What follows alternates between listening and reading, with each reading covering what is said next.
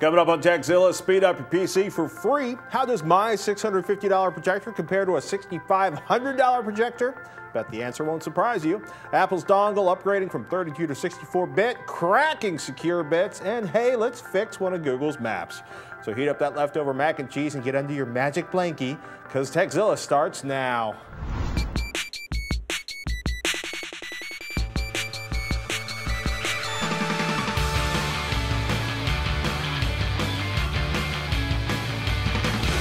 This episode of Tekzilla is made possible by Jack Threads, Westhost, offering premium web hosting since 1998, and Audible.com. Get a free audiobook at audiblepodcast.com slash Tekzilla. I'm Patrick Norton. And I'm Robert Heron. Welcome to Tekzilla, hands-on reviews of the latest tech and how to make the most out of the gear you've already got. Hey, whether you're a beginner or tech support for your friends and family, if you've got a question about tech, or you want to know how to get a 7,000 pound truck with a burnt transmission back on the highway, we've got an answer for you. And we actually don't need to contact anyone for help on that one. Firefox 4 is here. I have not even looked at it yet. The wait is, you should. I- I, I'm running it on my, my, my, my desktop machine at work. Very excited. It's actually, it's pretty neat. Three years after Firefox 2, two years after Firefox 3.5, doubled IE9's 24-hour download run, and the 24 hours wasn't up when I checked last, uh, possibly because it runs on XP, unlike IE9.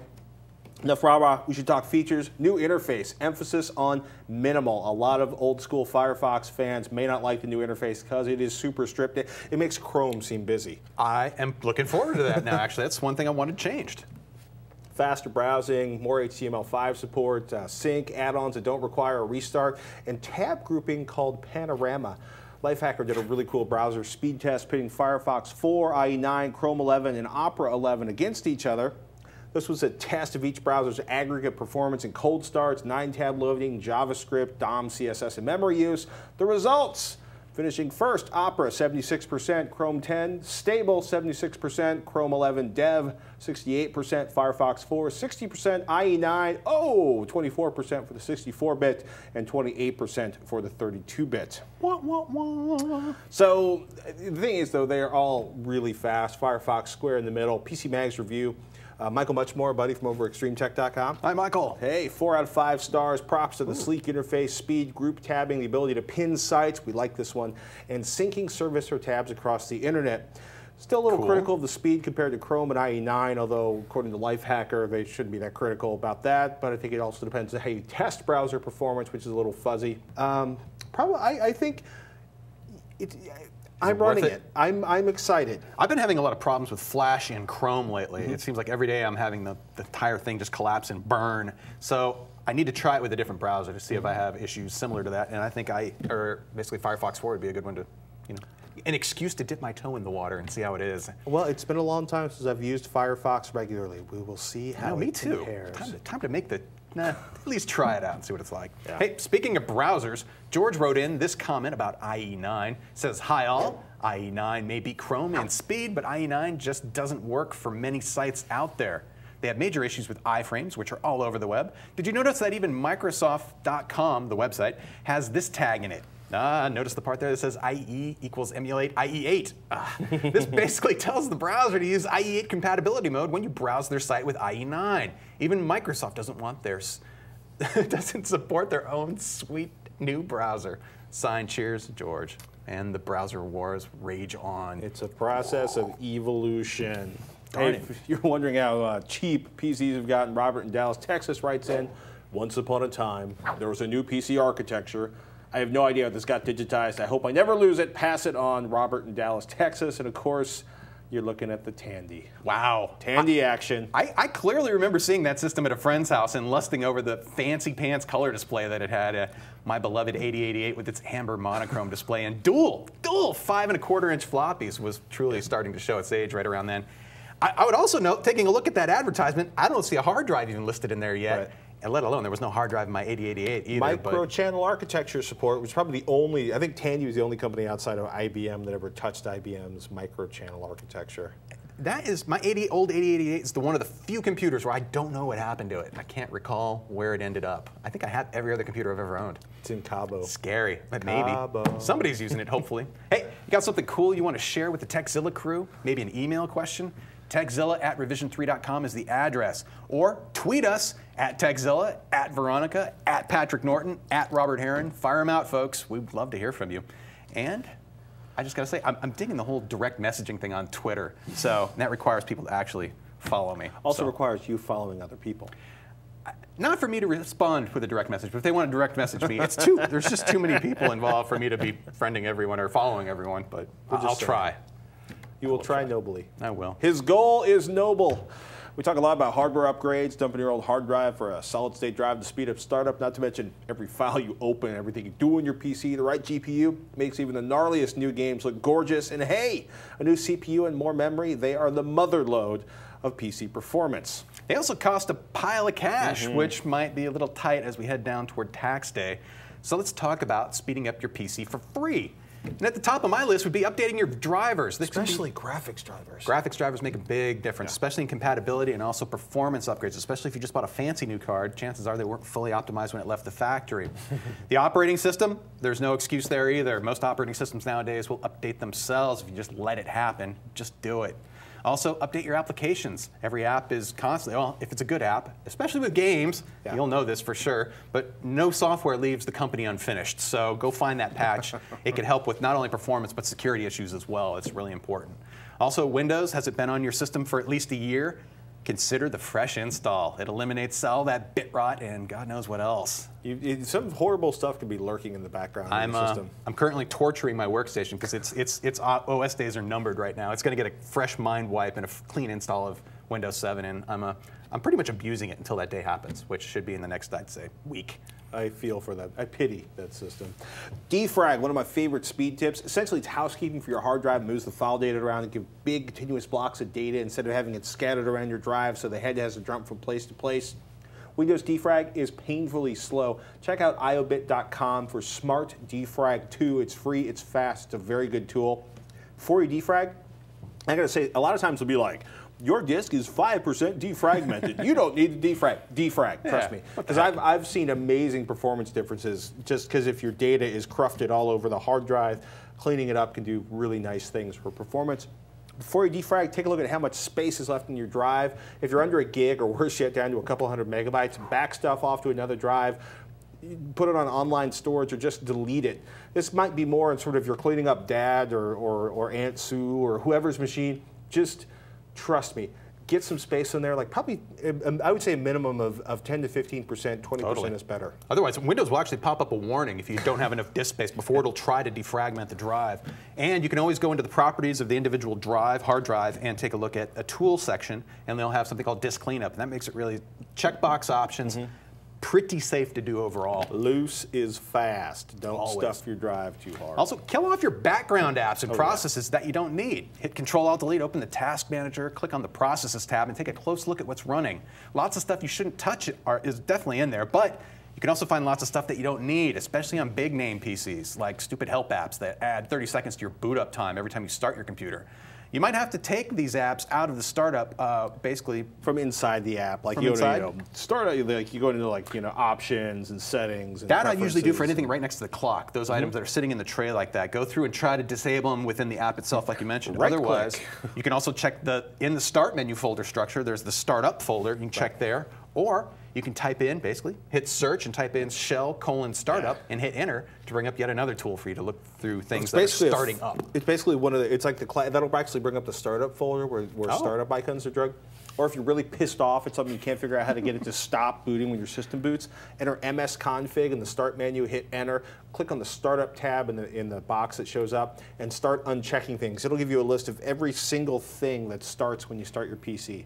I, again, be considering in the back of your head, hey, maybe it's time to wipe that hard drive and start fresh with a new install of Windows, whatever, or whatever your operating system of choice is. Yes. Although it seems to be more of a Windows thing than.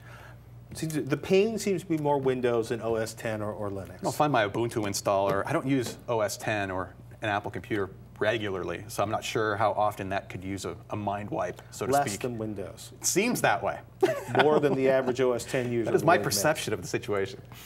You got a burning tech question for us, whether it's actually about burning tech, we've, we've seen that, or just a very urgent question, send it in. Tekzilla at revision3.com is the email address, or you can post it on our Facebook page at facebook.com slash tekzilla. Let's take a moment to thank one of our sponsors, Jack Threads. If you're a guy, statistically, there's a chance you hate shopping for clothes you should be checking out Jack Threads. It's a members only online shopping club that does the dirty work for you and saves you a boatload of cash. Every day, Jack Threads serves up the hottest brands at up to 80% off what you'd pay in a store. Brands like Kidrobot, the hundreds, and American Apparel for way less than you find anywhere else. And did we mention it's free to join? Hit up jackthreads.com slash tek, that's T-E-K with a K, and you'll instantly start saving and you won't even have to leave the house. Time to get our HD Nation on. Yeah, and although I loathe dongles in general, that did not stop me from stopping by the Apple store and spending 40 bucks 40? On, the, on the company's new digital AV adapter. This essentially provides me with HDMI output. Got an SD? Is that an SD card slot? You know, no, that's the first thing I tried to stick in there, but it's just a pass-through for the uh, power and syncing cable, so Good. I can leave that connected as well. That said, hey, the adapter itself is compatible with iPads, both uh, the fourth generation mm -hmm. iPod Touch and like this, the iPhone 4. Now, uh, mirroring, which if you want to mirror the iOS interface, that's only supported by the iPad 2. Aww. And the iPad 2 is the only compatible Apple product that supports 1080p video output. Not that we've seen this so-called 1080p output. If somebody would hand me the iPad 2, I will try it tonight. However, uh, the basically the iPads, the iPods, and the iPhone 4 are limited to 720p video output. And this is where it gets interesting. Yes. Of course, I did successfully, unsuccessfully try to put 1080p video on this thing, but iTunes just wouldn't even allow me to import the file. I think it does a resolution check before you, it, it, at least in my case. I imagine if I had the iPad 2, it would be fine. Anyway, 720p videos looked and played just fine. I even encoded a few of the uh, 720p test patterns that are some of my favorites using Handbrake, basically to test the encoder performance and to check the output quality, and it all looked pretty darn good. Now, I compared the encodes that are optimized for the iPhone 4's native 960 by 640 resolution to 720p output, and I noticed that the 720p output actually looked noticeably better when viewed on a large screen 1080p HD TV. Did they look better or worse on the iPhone itself? Uh, very hard to tell the difference. Right. With the smaller screen and the smaller pixel density or the tighter pixel density, mm -hmm. I really didn't notice a difference. But when I blew the picture up, compression artifacts were a lot more noticeable on the iPhone formatted content than it was, say, with straight 720p video. File size particularly different between I, those two? If you're aiming for a specific file size to go for, I'd say give it about one gigabyte per hour for 720p right. video in MPEG 4. Were the iPhone 4 optimized files smaller than the 720p Not really. files? They're pretty okay. similar in size, uh, maybe within, I don't know, I'd say about 20% okay. each. In addition to encoded videos, of course, the uh, digital AV adapter makes easy to do an impromptu slideshow. And videos from a Netflix Instant Queue played just fine as well. The really the only downsides to this setup, at least in my eyes, is it relates to the player software. I can encode a 5.1 audio track on a video, but I'm not seeing a way to select it. And the same goes for subtitles that aren't burned right into the video itself. Right. So if you're trying to get selectable, you know, I'd like subtitles to appear. I know there's subtitles in that video stream. I don't see a control that allows you to do anything like that. And that's more, I believe, just a limitation of the player software right. that's on the phone itself. Well, also, there's no subtitles in iTunes itself. So oh. why would anybody possibly want support for subtitles? I can encode them in there. Universe. Now, I guess uh, if you're if it's important to you, you can just right. burn those directly into the video itself. But then it's always going to be on there, and you can't make it appear or disappear as you prefer. They could really spice up the video player on here. I still have VLC installed on my phone. It's not the best app. It, I don't think they had the optimization in there, but I, I, can see you drilling through Apple's voicemail system to find Jonathan Ives' mailbox. Bro, it's time to spice up the iPhone video interface. I did play a Windows Media video file though with the VLC app. That mm -hmm. was mm-hmm. pretty funny to me. I, off topic. Anyway, not bad for a $40 investment. It gives me HDMI output. So if, if you're a business traveler and, and you have access to HDMI you know, inputs on television when you travel, if you're looking for a way to drag stuff over to a friend's house. Totally. And the Netflix, actually the Netflix streaming looks pretty darn good considering, uh, even blowing it up to 1080p resolution. It was pretty nice. Oh, and to just to let you know, the output on the HDMI coming out of my phone, it, it seems to be scaling everything to 720p, and I hmm. imagine that might go up to 1080p with the iPhone, iPad 2. Good to know. Yeah. MotoGP coming next week. Oh, Round two. Or MotoGP coming this week. MotoGP started last weekend, Right. and it is some of the best HD racing content on TV, folks. I'm, I'm a happy camper. We, we haven't talked about what we're watching in a while. so I figured to mention he's watching MotoGP, and I'm trying to get through season two of Glee. Glee. Apparently, I'm going back to high school with the places. my projector, my Woot.com deal of the day, my Optoma 1080p showed up and was immediately taken out of my hands and put into Robert Heron's hands. I didn't even get to take it home for a rigor. He had to do the rigorous benchmark testing. He fired up SpectraCal's excellent CalMan calibration and testing software. I had to keep things consistent with our other front projector test results. He used the same Stewart Phillips Screen StudioTek 100 screen that features a matte white surface that is low gain for even dispersion of reflected light and works approximately three to four times the projector the Optoma 1080p, at least the refurbished version that I It's a consistent screen surface to shoot at. It's really good. Hey, you know what? The uh, HD 180, Patrick's new projector, it features a single chip DLP light engine, similar, similar in fact, to the uh, digital projection's M-Vision Cine 230 that we recently reviewed. Now, it's completely unfair to make any direct comparisons between the picture performance of these two projectors, Literally, one's like a $900 projector normally, the other one's like a $6,000 projector. but we'll, we'll compare anyway. And you know what? we'll just see what that extra zero on the price tag of the Cine 230 gets you. First, let's start with the out-of-the-box performance of the HD 180. Uh, let's take a look at white balance. This is AKA how consistent its red, green, and blue color mixing is when creating shades of gray from black to white. That's a good definition there. And looking at the chart, you can see right out of the box, there's, there's, there's a pretty dramatic bit of variance going on from, from dark black all the way or black all the way to white. Uh, that is not what you want to see. That basically will affect the color performance of the whole picture. So in darker scenes, you're you're basically getting color shifting that's unwanted and could affect it affects how real or how convincing the scene's going to look on the screen. Now, each distinct shade of gray should be the same color. That's why they call it color mixing. And as the RGB balance graph in the CalMan software shows, there was some serious work needed to get everything tracking evenly at 100. Now, needed serious work. Oh, but thankfully, that HD 180 provides a basic set of white balance controls that are pretty optimal for that very task. And as you can see, in the end, it, it came out looking pretty flat across the board. Now, most entry-level projectors, including the HD 180, lack a color management system that can fine-tune primary and secondary colors to match the HD video spec. Green on the HD 180 was particularly oversaturated, and the secondary colors were all off to varying degrees. Yellows were especially shifted a little too toward red more than you really want to see. Now, compare that to the out-of-the-box performance of the digital projection Cine 230, and you can understand where some of that extra cost is going in terms of just how is it performing right out of the box? How is it tuned at the factory, so to speak? Now, the display's gamma, any display's gamma, is a measurement of its light output at different input levels, and the result is logarithmic to match the response of the human eye. Now, the default gamma setting on the HD 180 appears to be optimized for producing extra brightness rather than an accurate picture. However, it turns out that the projector's standard gamma preset got us pretty close to the ideal. Nice. It took some, you know, it's basically going through each preset to see which one gets you closest, and there was one there that was pretty darn close. Lens-wise, here's where the big differences kick in. Oh, boy. For the 92-inch Stewart film screen we used, that leaves us with a throw distance with the HD 180 of about 10 to 12 feet. Right. It's not a lot of wiggle room, really, in terms of where you're going to be placing that projector. The Cine 230, I believe, we had about 12 to 16 feet with, Mm-hmm. the, with its lens package. and optional lens packages. And that's, I think it's high one of the big things about high-end projectors. When I say high-end, um, for our audience is, is starting at a few thousand dollars. It might be the low end for the true high-end.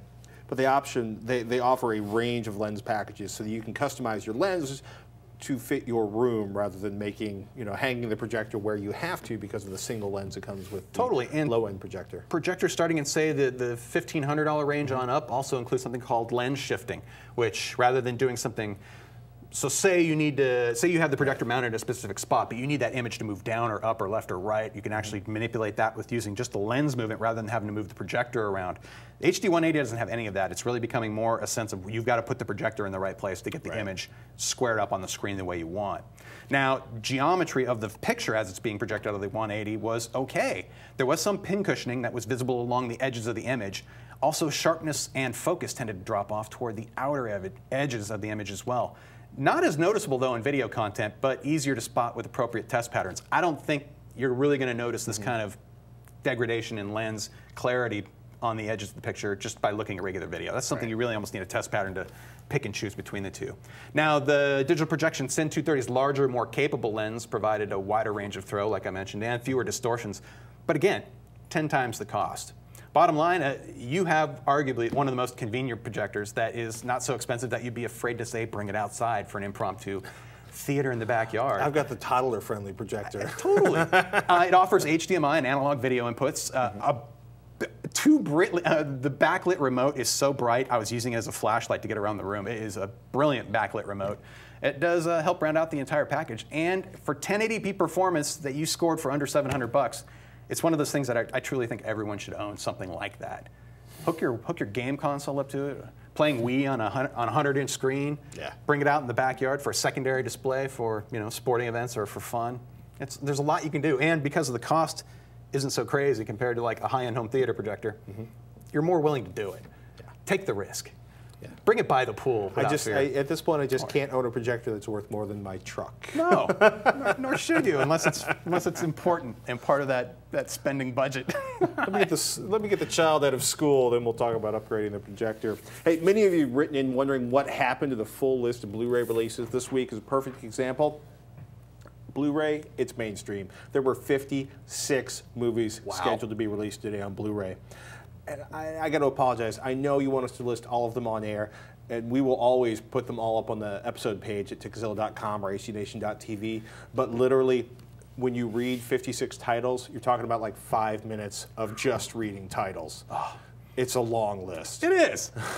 I don't mind doing it, but hey, hey, shall we do it? Let's do it. I think it's time. Yes, indeed. It is time for the new Blu ray releases for the week of March 29th, 2011. First up, The Secret of NIMH. This 1982 animated classic is a beloved favorite of many, including Roger and me. Based on a novel, it tells the story of a field mouse who has to save her son by enlisting the help of super intelligent rats from NIMH, or the National Institute of Mental Health. All previous VHS and DVD releases of this film have been pan and scanned, but now we'll see it presented in the original widescreen 185 to 1 aspect ratio. Next up, Mad Men Season 4. This AMC series has won the Emmy Award for Outstanding Drama for the past three years in a row, and for good reason. The premise may sound uninteresting. It follows those who work in an ad agency in New York City in the 1960s, but it has some of the most interesting and well developed characters on TV today. Season 4 comes region free on a three disc set with an MPEG 4 AVC codec, a 178 to 1 aspect ratio, and a DTS HD Master Audio 5.1 soundtrack.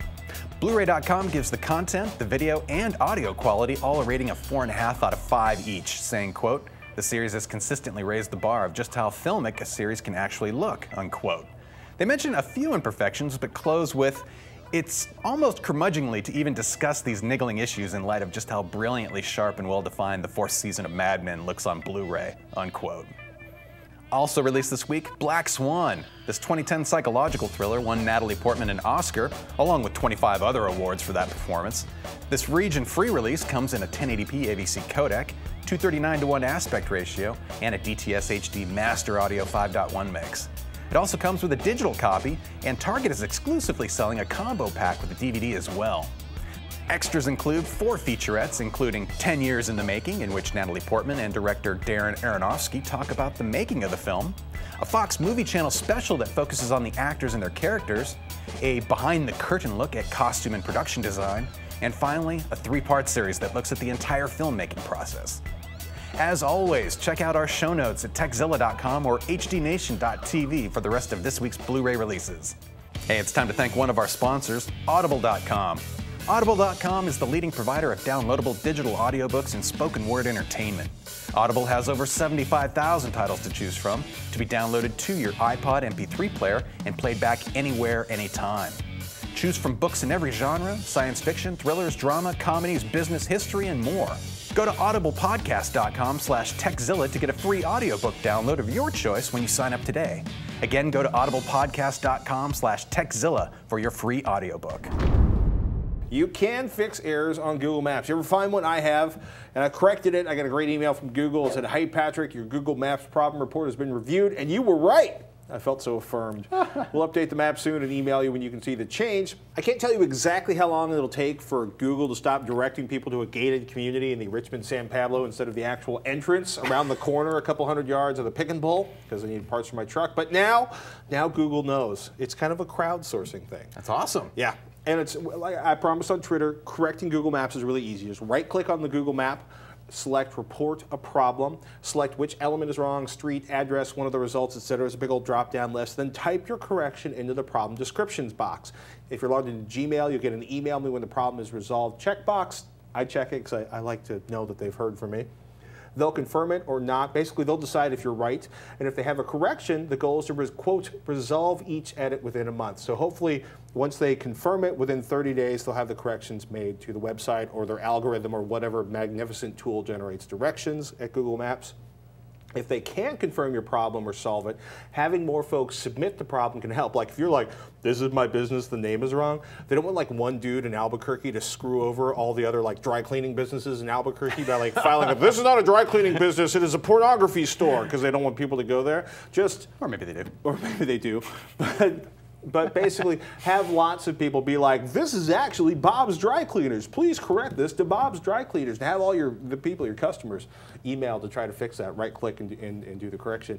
I would love to get Google Maps on the show for an interview. Some of the, the crew from over there. Let me know if you've got questions for them. We'll see if we can set that up. Nice. Hey, Bot Sarai has a driving question. Uh, hey guys, what type of driving question? I'm like, what? Hey guys, what type of screwdriver do I need to undo this screw here? That black one in the attached photo. Hey, I'd say that's uh, it looks like a Torx screw to me, but It's a secure Torx screw. secure Torx bits. Now you can pick up collections of security bits online at a lot of hardware stores too. iFixit also sells that kind of stuff. Just really need to check around. Oh man, I could have sworn I had that. This is not the collection of. I have like 32 collections of bits. I thought I grabbed the right one. This The is. bottom one Torx? No. Uh, it is Torx, but it is not secure Torx. Secure Torx is essentially that little pin in the center. So basically, you have to have a Torx with a hole cut out of the middle. So I noticed Muni uses a lot of those one-way screws. They can go on, but they don't come back off. yeah, those those are almost impossible to undo without a grinder or being really good with the print Chisels. scripts. Chisels work too. Hey, Adam wants to know how to migrate to Windows 7. Dun, dun, dun, dun. How do you recommend upgrading my computer from Windows 7 32-bit to Windows 7 64-bit? I want to use all six gigabytes of my RAM instead of just 3.25. A friend recommended backing up, doing a clean upgrade as x64, wiping the hard drive and starting over, and then restoring the backup. Would this work? Can you restore a 64-bit machine from a 32-bit backup? Thanks in advance. Signed, Adam in Philadelphia, Pennsylvania. That's a good question. Well, are we talking data on an actual disk image? Like you took Acronis and you created an image of your existing install or carbon copy clone or something like that? Because if you image the disk, right, the whole point is to avoid reinstalling the operating system. Because Right. if you, if you take a disk image and blow it back onto the hard drive, you will erase your fresh 64-bit install. So that's not it. So I'm wondering Yeah. if you use maybe the Windows backup tool that's built in.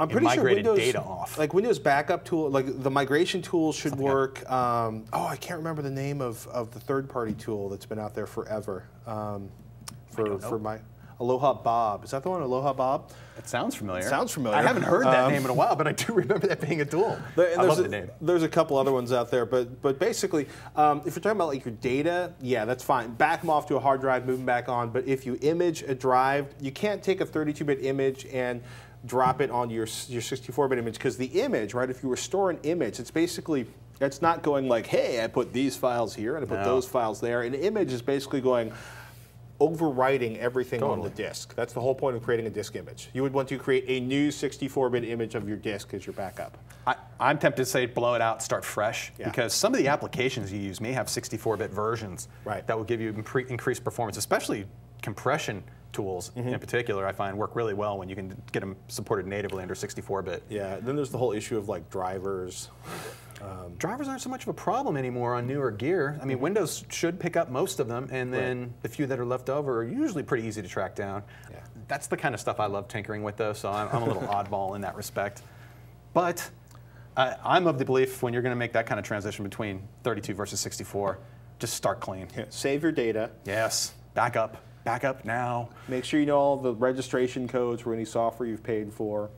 That's the tough one. Back Game- up your bookmarks. game Nothing worse than saves. erasing your bookmarks. I, I was like 90% of the way through uh, the original Dragon Age, and I, I, I did just recently find my backup of it, though, so I'm a little happier. But anyway, I just you lose some game data. You lose game data after you've been playing a game for a few hours, a few, and it's a it's, it hurts. It's a sad maker. It is. You know, it's not sad making our sponsors like West Host. How's that for a elegant transition? West Host has been offering premium web hosting since 1998. affordable plans. They all start at 19 cents a day. Free as affordable plans. Start at just 19 cents a day. Free U.S.-based support, as in you can understand who's on the phone. They're available 24/7, phone, chat, and email. One-click installs for hundreds of apps, and they'll even transfer your website over to their hosting for free. Plus, you'll get a 60-day money-back guarantee and great server performance. Check them out, people. Westhost.com slash Tekzilla, and you'll score an exclusive 25% discount off web hosting. Westhost people, thank them for supporting us by hey, trying out this offer. We got a lot of flack for admitting our total lack of Doctor Who fandom last week. At Lori CNET says we're no longer friends. At Oh. Evercode took away some of my geek points. Uh, sorry about that. Oh, It, it's it was actually kind of this hysterical discussion. So I actually Lori over at CNET, uh, uh, who said we couldn't be friends anymore, did give me an episode. She suggested a sort of a gateway episode to hopefully hook me on Doctor Who. There you go. So I, I will attempt to, and, and also uh, on Twitter, I gave out a list of the British programming I do actually watch. Uh, Red Dwarf. Actually, I, I spaced, actually. I'd never heard of a Simon Pegg thing, so I'm very excited.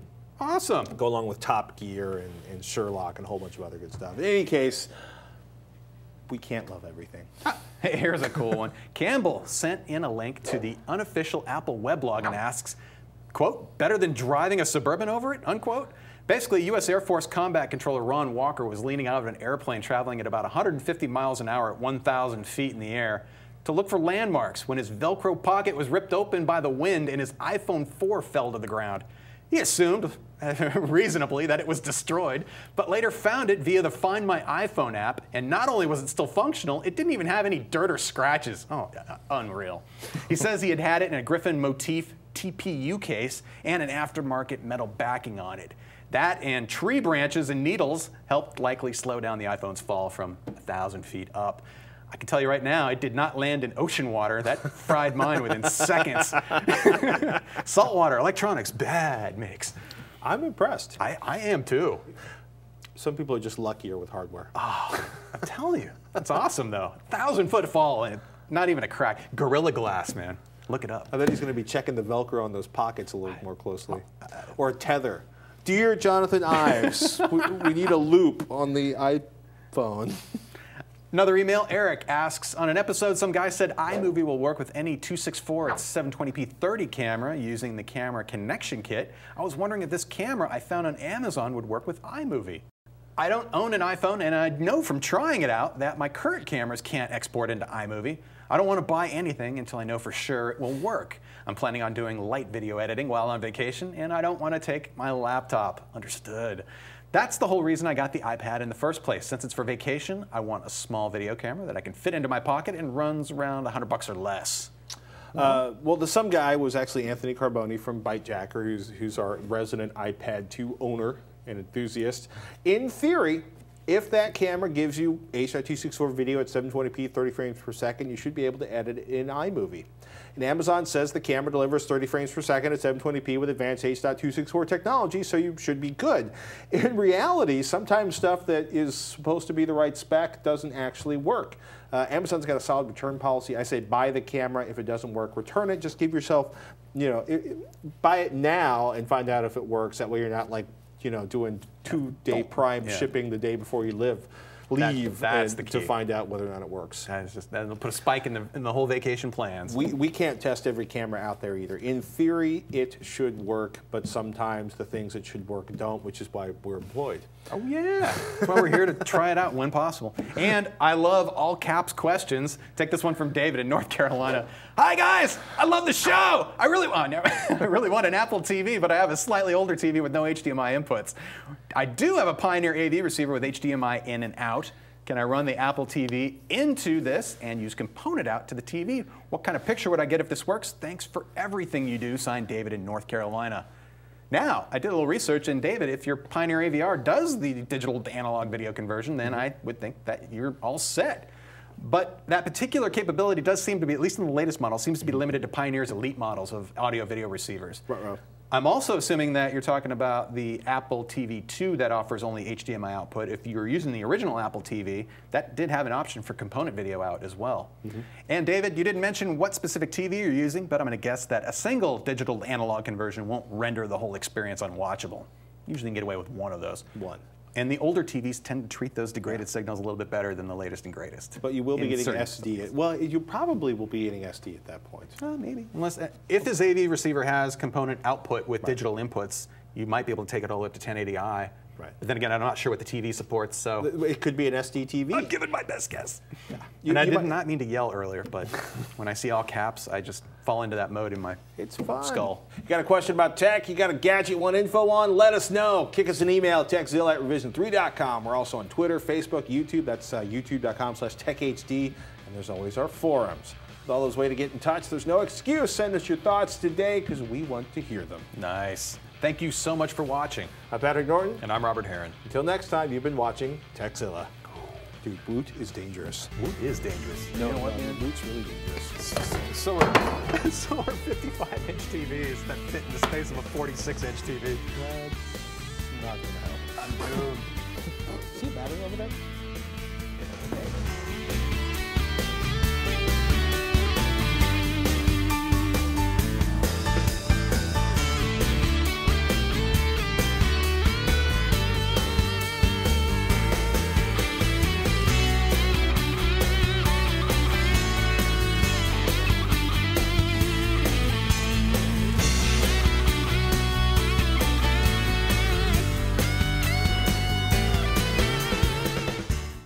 Blu-ray.com gives the content, the video, and the audio quality all, uh, all a rating of four and a half out of five.